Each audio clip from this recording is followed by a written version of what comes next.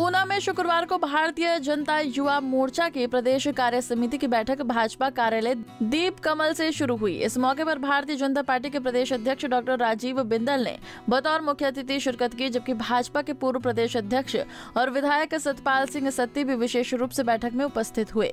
इस मौके पर डॉक्टर राजीव बिंदल ने पार्टी हाईकमान द्वारा जारी किए गए दिशा निर्देश और कार्यक्रमों को युवा कार्यकर्ताओं के साथ साझा करते हुए आगामी लोकसभा चुनाव के लिए कमर कसने का आह्वान किया।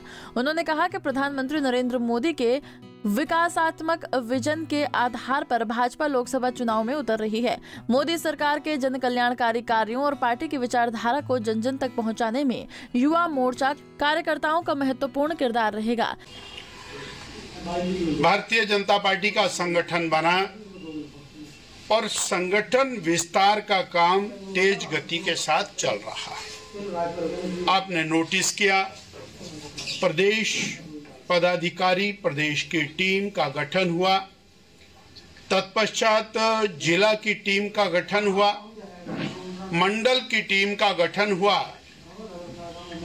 जिलों की बैठकें, मंडल, मंडलों की बैठकें, ये सारा कार्यक्रम करने के बाद अब मोर्चों की तरफ़ भारतीय जनता पार्टी तेज गति से आगे बढ़ी है।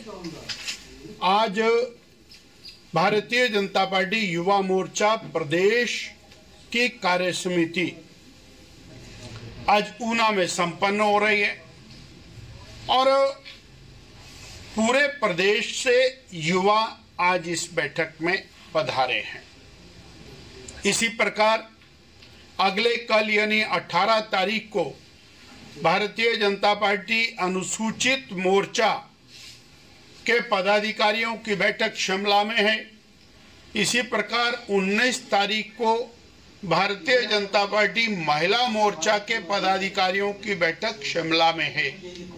अर्थात हमारी जो फ्रंटल ऑर्गेनाइजेशंस हैं, वो और तेज गति के साथ संगठन विस्तार करते हुए आगे चलें। इस लक्ष्य की प्राप्ति के लिए हम लगे। साथ ही भाजपा के प्रदेश अध्यक्ष डॉक्टर राजीव बिंदल ने प्रदेश कांग्रेस सरकार को भी चुनाव से पूर्व दी गई दस गारंटियों के मामले पर जमकर घिरा। उन्होंने कहा कि चुनाव से पूर्व कांग्रेस जनता के साथ झूठे वादे करके राजनीति करती रही, लेकिन अब जब उन्हें पूरा करने का समय आ गया है तो कांग्रेस अपने कर्तव्य निर्वहन से बचने के लिए दोषारोपण कर रही है। 2022 के अंदर जब वो बड़े बड़े भाषण कर रहे थे वोट लेने के लिए तो राजनीति कर रहे थे या वो खेल नीति कर रहे थे? 2022 के अंदर माननीय उप मुख्यमंत्री जी के बयान है, मैं आपको सुना देता हूँ, नहीं तो आप अपने कैमरे में से निकाल लीजिए।